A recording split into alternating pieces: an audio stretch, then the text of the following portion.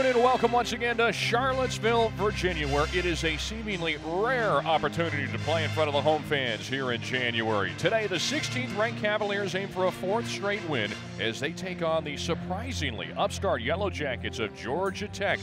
In front of a capacity crowd here at John Paul Jones Arena, Devon Hall knifes his way through the lane, floats it up with the left hand, and gets it to fall. Trying to retake the lead in a 2-2 tie. Isaiah Wilkins with a couple head fakes on the baseline, feeds right wing to Hall. Hall steps back and buries a jumper just inside the arc. As Hall just lost track of it, so Virginia on the other side sees the lead cut in half. Here's Isaiah Wilkins pulling up and knocking down a right elbow jumper from 13, and Virginia back ahead by four. London Perrantes with seven to shoot.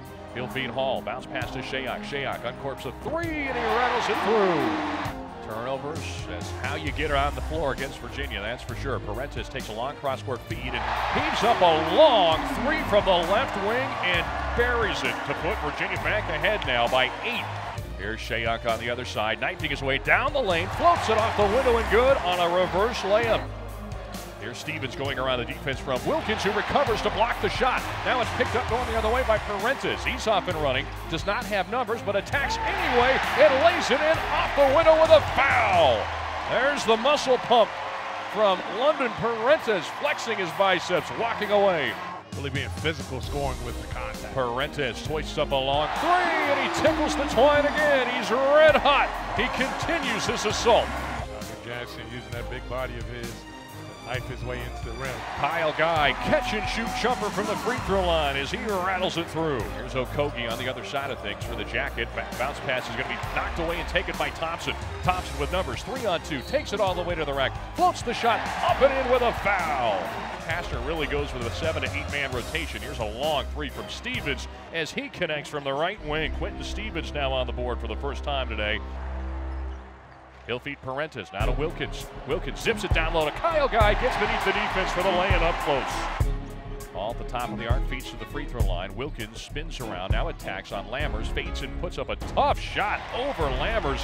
High, arcing teardrop from the right baseline over the ACC's leading shot blocker goes down. Guy, Guy a head fake, now dumps it down low to Jack Salt backing in on Lammers, trying to power his way in traffic. Little jump hook inside, rattles through. Nice soft left hook.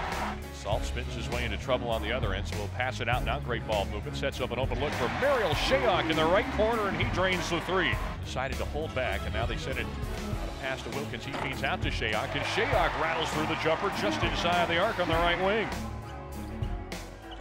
He's done a nice job of staying out of foul trouble as I knock on wood.